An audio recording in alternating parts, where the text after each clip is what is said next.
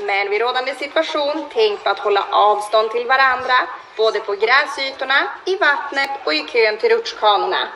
Detta gör vi av omtanke för varandra. Tack!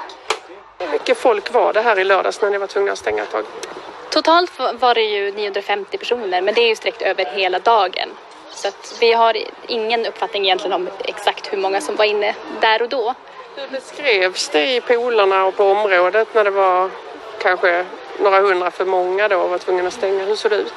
Då är det ju väldigt fullt och det är ju när man kommer till den gränsen att nu känner vi att, ja, men, att det inte går att säga till längre och få folk att sprida på sig. Då är det det enda rätta att göra. Med den prognos som är nu närmsta dagarna, det ska bli varmt, hur tänker ni där? Finns det andra åtgärder man kan göra? Det kan man göra. Man kan ju välja att stänga igen tidigare också. Och vi pratade väldigt mycket om att ha olika slottider innan vi öppnade och vi har dividerat fram och tillbaka vad som är det bästa. Men vi ska göra tydligare markeringar. Vi ska ta hit eh, stolpar med avgränsningsband och sen kanske ännu fler utrop.